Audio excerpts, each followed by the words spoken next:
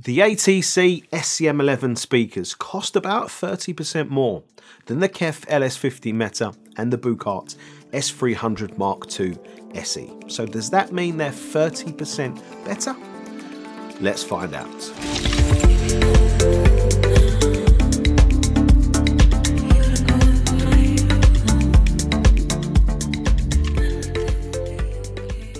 If you're new here, I am doing a stand mount speaker group mega test. And by mega, I mean this many speakers are all being reviewed and compared to each other to try and help you find you know, the right speaker for you from this group and also to try and find and crown the best stand mount speaker in 2021 costing under £1,300. And if that sounds of interest to you, make sure you subscribe to the channel and hit that notification bell so you don't miss anything.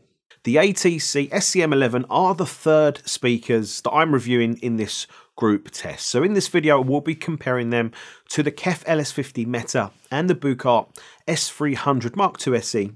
Those are the speakers that I've already reviewed in the group test, and obviously there'll be links up there if you'd like to go and check out those reviews. And I think what's really interesting is, is that almost the ATC SCM11s fit exactly in the middle, performance wise, between those other two speakers. Yeah, that close. Price wise, the SCM11 cost £1,300. So that does make them, I think, the most expensive speaker in this group test. And that does make them about £300 more expensive than the KEF LS50 Meta and the Buchardt S300. So that is a, a significant difference of about 30 percent And I'm sure some of you are watching this video thinking, well, if they cost that much more, well, then surely they have to deliver that much more performance in every single area.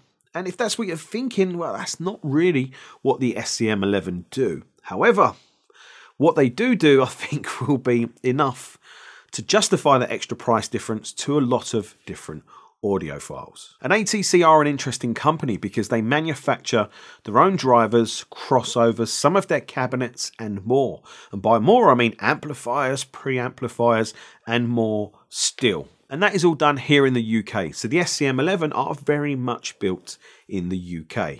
They are a two-way sealed curved cabinet speaker with a 25mm or 1 inch in old money ATC soft dome dual suspension tweeter that has a precision alloy waveguide.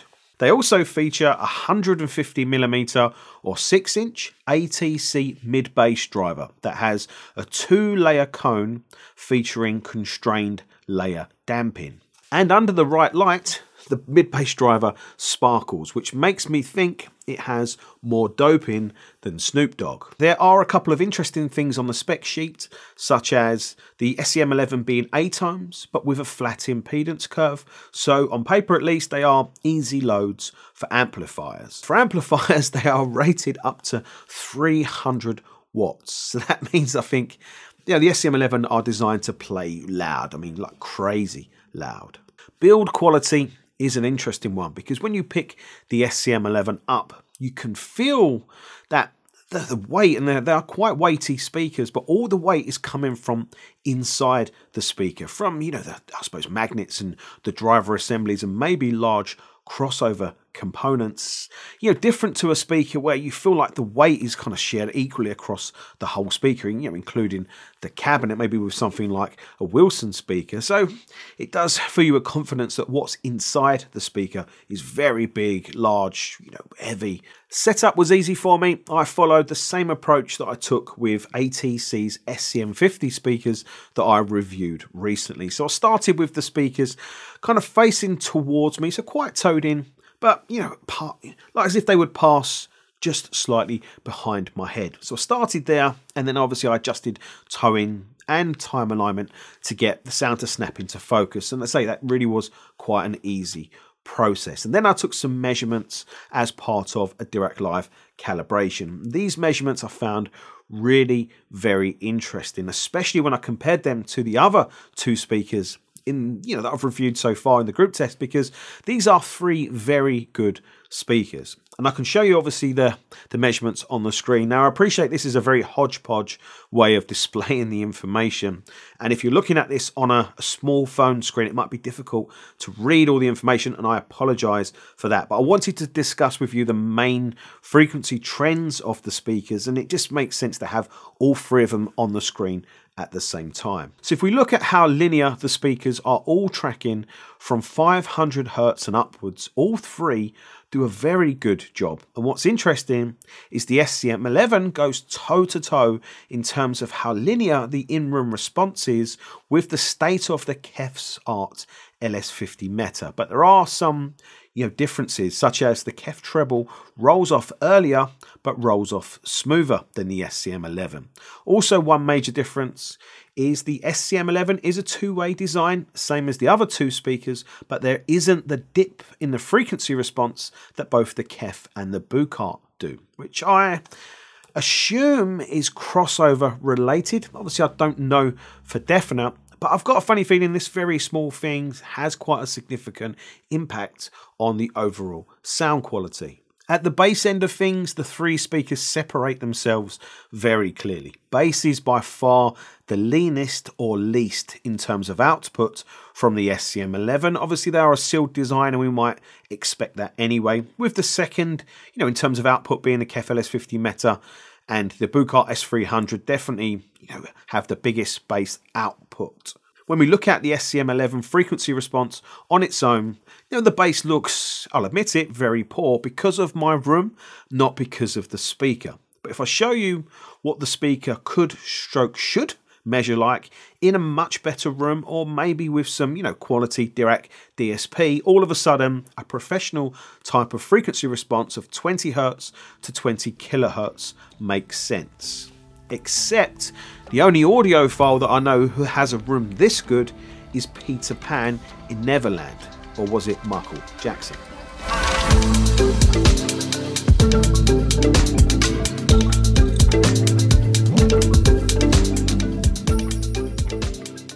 I think what's worthy of note is that even if we had this, you know, amazing listening room which gave the SCM11 this amazingly extended bass frequency response, I still think they would sound leaner than the LS50 Meta. More extended, yes, but leaner in the bass and definitely leaner than the Buchardt, unless we, you know, do something about it with a little bit of Terry Ellis Dirac Live skills magic. And that's exactly what I did to put all three of these speakers on an equal playing field for purpose of this review. And just before I talk to you about the sound quality comparisons, I just want to say that there is something about how ATC speakers sound which is difficult to quantify in words.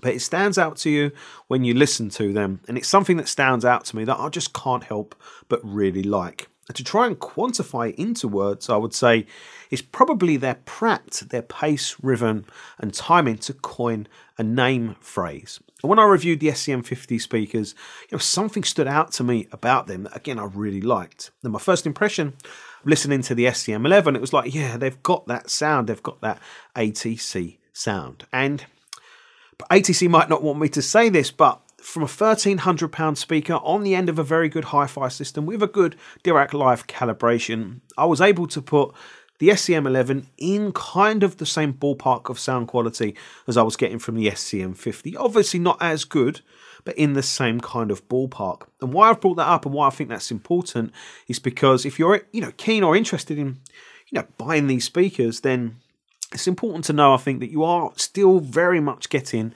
the ATC sound. ATC speakers are famous for their mid-range and vocal delivery. And that stood out to me about the SCM11.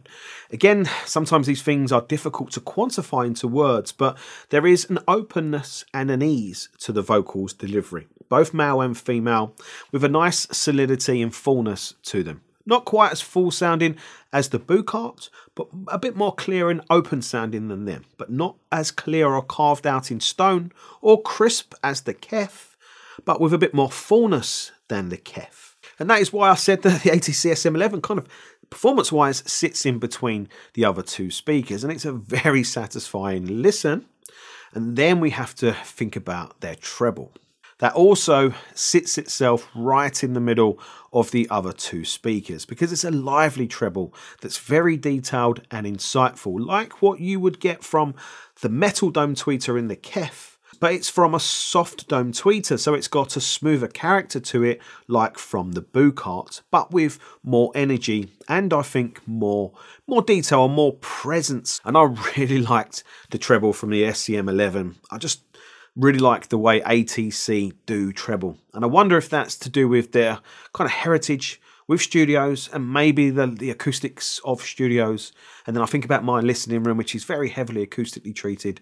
And it, yeah, maybe that is why. But yeah, I just really, really like the way ATC do treble. And this all sounds great for the ATC, but there are a few other things to consider, like soundstage. And I would say the KEF probably image better in some ways because the KEF create, you know, very clear, tangible images across a soundstage. That is very impressive. But both the ATC and Buchardt are really very close in this regard, so it's actually quite hard to separate them. The ATC definitely have a more upfront type of sound, a more active listen type of sound, which is very standout compared to the Buchardt S300, which is still quite an active listen, but a more of a relaxed version. And I did say in the Buchardt S300 review that some audiophiles maybe would find them a little bit reserved in character, maybe a little bit play it too safe, which then that kind of character stands out when you listen to the SCM11 because they are really quite the opposite. You know, they want to, you know, to say the Pratt, they want to put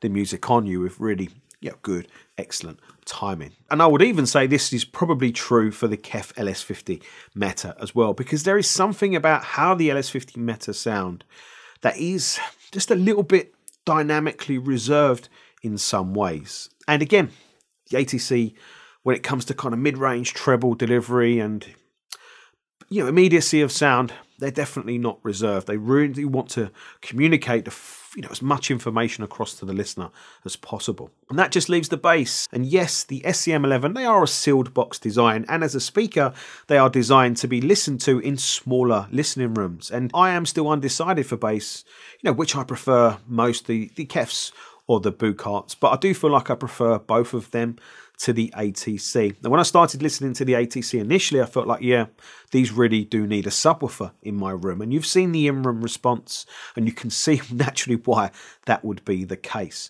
But to be fair, I did feel like that about the LS50 Meta as well, but I felt like it about them less.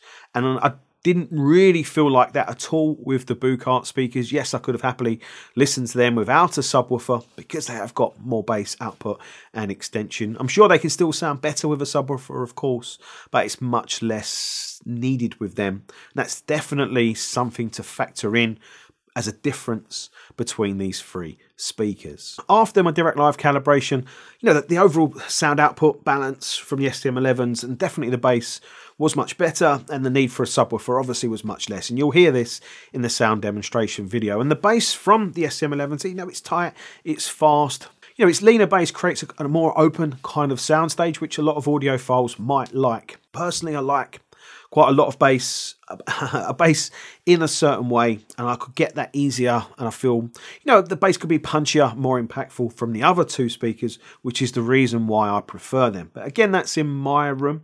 Other people with other situations might have different needs. For my final thoughts of the ATC SCM11 speakers, yes, they cost more than the other two speakers that I've reviewed in the group test so far. But you know what? You could probably you know easily justify that extra cost by thinking that the drivers and the crossover and other bits and pieces are all made here in the UK, which comes at a premium. You have to pay a premium for that, but there are benefits to quality control, longevity of parts, and other bits and pieces to go with that. And for sound quality, the, these SCM11s will just do certain things that will really tick a lot of boxes for certain audiophiles. As I keep mentioning, there's something about the way they sound. But with my realistic head on, I have to think that both the KEF and Buchardt speakers are also very, very good speakers that are costing significantly less. So yes, maybe the ATC will do some things better than the KEFs and some things better than the Buchardts, but they are still very, very good speakers that probably do bass better, depending on what you're looking for, and they cost significantly less.